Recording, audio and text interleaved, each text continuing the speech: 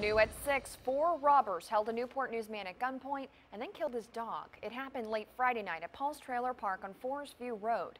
The 43-year-old victim said he was playing pool at a friend's house when four men came up to the window asking for cigarettes. When the man, when the man went outside, two of the robbers held him at gunpoint and a pit bull was chained in the yard. When the dog barked at the suspects, one shot and killed the animal.